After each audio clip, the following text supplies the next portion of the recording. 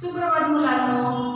मुलांनो आपण नेहमी अनेक प्रकारचे प्राणी पक्षी पाहत असतो. पाहता ना तुम्ही? हा? कधी आपण पिक्चरमध्ये पाहतो म्हणजे चित्ररूपी प्राणी पाहतो तर कधी आपण प्रत्यक्षातही प्राणी पाहतो. ज्यावेळेला प्राणी तुम्ही पाहता त्यावेळेला तुम्हाला काही प्रश्न पडतात मुलांनो हा? तर या प्राण्याची रचना अशी का असावी? किंवा या पक्षाला हे छान पंख कसे मिळाले? किंवा हा याचा आवाज याला कसा बहाल झाला? असे अनेक प्रश्न आपल्याला सतत पडत असतात ना? बरोबर आहे मुलांना. तर असे प्रश्न पडणे खूप चांगले असते. ज्यावेळेला आपल्याला प्रश्न पडतात त्यावेळेला आपण त्याची उत्तरे नक्की शोधतो आणि त्यामधून आपला ज्ञान संग्रह साठा वाढत जातो. हा? आणि नेहमी तुम्हाला असे प्रश्न हे पडले पाहिजेत आणि त्याची उत्तरं तुम्ही शोधलीही पाहिजेत मुलांना. तर पहा मुलांना आता आपण काही प्राणी पाहतो किंवा काही पक्षी पाहतो त्याच्यामध्ये वेगळेपणा असतो. त्यांच्या नावानिशी आपण पक्षी प्राणी ओळखतोच. पण त्यांच्यामध्ये जे काही वेगळेपणा असतो म्हणजे त्यांच्या शरीर रचनेमध्ये त्यांच्या आवाज हा काहीतरी वेगळेपणा असतो त्यावरून तरी तो प्राणी आपण नक्कीच ओळखतो हो ना तर पहा मुलांना आपल्या पाठ्यपुस्तकामध्ये पा- कविता आहे नऊ नंबरची कविता आहे आणि कवितेचे नाव आहे असे कसे पहा कवयित्री आहे नलिनी तळपदे. आणि नलिनी तळपदे यांनाही असेच प्रश्न पडलेले आहेत की या प्राण्यांची रचना अशी का आहे? किंवा या पक्षाला असा कसा रंग आहे? किंवा हा पक्षी असा कसा गातो? किंवा कासवाच्या पाठीवर ओझे कसे आहे? पहा मुलांनो मी ते फलकावर काही चित्र बनवले आहेत. आणि चित्रांच्या सहाय्याने आपल्याला त्या पक्षामध्ये किंवा त्या प्राण्यामध्ये कोणता वेगळेपणा आहे ते पाहायचे आहे. पहा मुलांना इथे आता कांगारू दिसत आहे. आहे ना कांगारू? हा पहा कांगारू. पहा कांगारू. हा? आता कांगारूमध्ये आपल्याला काय दिसतं मुलांनो? तर कांगारूचे दोन पाय काय आहेत छोटे आहेत आणि दोन पाय काय आहेत मोठे आहेत. आणि विशेष म्हणजे काय असतं मुलांनो? की कांगारूच्या पोटाला पिशवी असते. आता पिशवी पहा मुलांनो कांगारूला काही ड्रेस वगैरे नाही आहे ना पण निसर्ग कामात त्याला हे म्हणजे निसर्गाने त्याला ही बहाल केलेली देणगी आहे. तर त्या पिशवीमध्ये तो आपल्या बाळाला ठेवत असतो. पहा मुलांनो किती छान आहे ना? आता कांगारू आपल्या पोटाला जी पिशवी असते त्या पिशवीमध्ये आपल्या बाळाला ठेवत असतो. पहा. तर कवयित्रींना प्रश्न पडलेला आहे की कांगारूचे दोन पाय छोटे आहेत. दोन आणि त्याच्या पोटाला जी पिशवी आहे ती पिशवी कोण शिवून देत असेल बरे?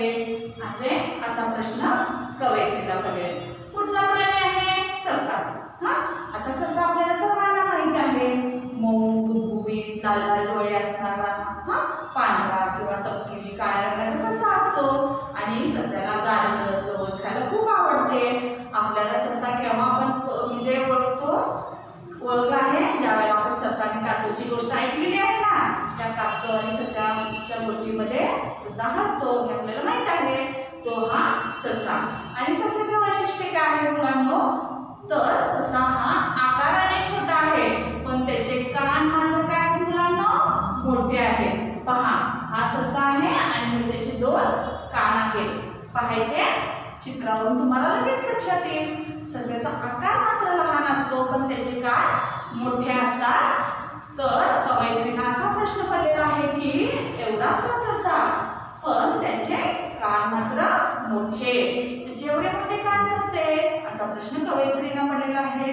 पुढील प्राणी आहे हत्ती. पहा हत्ती खूप मोठा बलाढ्य ताकदवान असतो ना मुलांना. आपल्याला हत्ती खूप आवडतो होय ना तर हा हत्ती खूप मोठा असतो बलाढ्य असतो ताकदवान असतो पण त्याची शेपूट मात्र काय असते मुलांना छोटी छोटी असते पहा इथे शेपूट छोटी छोटी शेपूट आहे ना. मग कवयत्री म्हणतात की एवढा मोठा हत्ती पण त्याची शेपूट मात्र काय असते? छोटीशी असते. असे कसे? असे कवित्री विचारत आहे आता पुढील प्राणी आहे. बगळा. हा? तर बगळा. पहा मुलांना. बगळा या पक्षाचे वैशिष्ट्य आहे असे आहे की बगळा हा पांढरा शुभ्र रंगाचा असतो वृक्ष शोधणार असतो किंवा वृक्ष शोधात पक्षाच्या शोधात असतो त्यावेळेला तो काय करतो? पाण्यामध्ये तपश्चर्याला जसे साधू ऋषी मुनी बस उभा राहतात ना म्हणजे एक पाय असे वर करून तो डोळे बंद करून पाण्यामध्ये उभारलेला असतो जणू काही आपल्याला वाटेल की हा काहीतरी तपश्चर्या वगैरे करत आहे पण तो असे ध्यान लावतो आणि अचानक पायामध्ये मासा वगैरे आला तर पटकन आपल्या लांब चोचीने त्या माशाला अलगद टिपतो तर कवयित्री म्हणतात की एक डोळा बंद करून बगळा बसतो टपून टपून बसलेला असतो ना त्याचे भक्ष शोधण्यासाठी तो टपून बसलेला असतो. हा आता पुढे पहा. पुढील प्राणी आहे कासव. कासव हा जलचर प्राणी आहे. हा तो पाण्यामध्ये आणि जमिनीवर म्हणजे उभयचर प्राणी आहे. तो पाण्यामध्ये आणि जमिनीवर दोन्ही ठिकाणी राहू शकतो. आता कासवाचे वैशिष्ट्य काय आहे मुलांना? तर कासवाच्या पाठीवर ओझे असते. ओझे असते म्हणजे काय मुलांनो? की एक दगडासारखे म्हणजे दगड असतो ना अजून छोटा त्या दगडासारखे टणक असं कवच त्या कासवाच्या पाठीवर असते. आणि कासव काय करतो? या कवचाच्या म्हणजे हे संरक्षण कवच आहे मुलांना त्याच्यासाठी. निसर्गाने दिलेली ही देवी आहे. ते त्या कवचाच्या आधारे तो आपलं स्वतःचं संरक्षण करू शकतो. म्हणजेच काय? त्याचे हे जे मान चार पाय आहेत ना ते चार. हे पाय आणि पाय त्या क- कवचामध्ये आतमध्ये ओढून घेतो आणि जणू काही एका दगडासारखा ठप्प बसून राहतो. कुणालाही सहजासहजी आपण ओळखू शकत नाही की हा कासव आहे. हा? तर कासवाच्या पाठीवर काय असते? ओझे असते. म्हणजेच काय? त्याचे कवच म्हणजेच ओझे. मग कवयित्री म्हणतात की कासवाच्या पाठीवर ओझे कोणी दिलेलं आहे हे? हा? मग तिथे कासव काय लपून ठेवतो? हा? हे असा प्रश्न कवयित्रीला पडलेला आहे. पुढील पक्षी आहे आपला शहामृग शहामृग तुम्ही पाहिला आहात मुलांनो?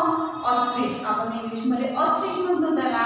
हा? तर शहामृग जो आहे तो काय असतो?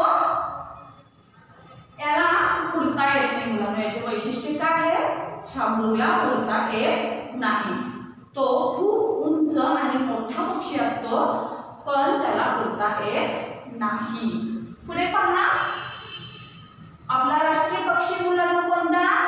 अगदी बरोबर ओळखला का मुलांना राष्ट्रीय पक्षी आहे मोर. हा? तर मोर दिसायला खूप सुंदर पक्षी आहे. आहे ना? ज्यावेळेला मोर आपला पिसारा फुलवून नाचतो ते दृश्य तर आपण अगदी आपल्या मनामध्ये टिपून जपून ठेवतो. होय ना मुलांना खूप सुंदर त्याचे पिसारे असतात आणि ज्यावेळेला पावसाची सुरुवात होते रिमझिम पावसाची सुरुवात होते त्यावेळेला मोराला आनंद होतो आणि मोर आपला पिसारा फुलवून नाचू लागतो. तर असे प्रत्येकांचे काय आहे स्वतःचं असे वैशिष्ट्य आहे आणि त्या वैशिष्ट्यानुसारच आपण त्या प्राण्यांची ओळख करतो. पण ही वैशिष्ट्य हे त्यांच्या संरक्षणापोटी निसर्गाने त्यांना बहाल केलेले असते. तर मुलांना ही कविता मी तुम्हाला तारासुरात म्हणून दाखवतो. ती तुम्ही छान ऐकायची आहे आणि तशीच पुन्हा तुम्ही म्हणायची आहे. पहा मुलांना.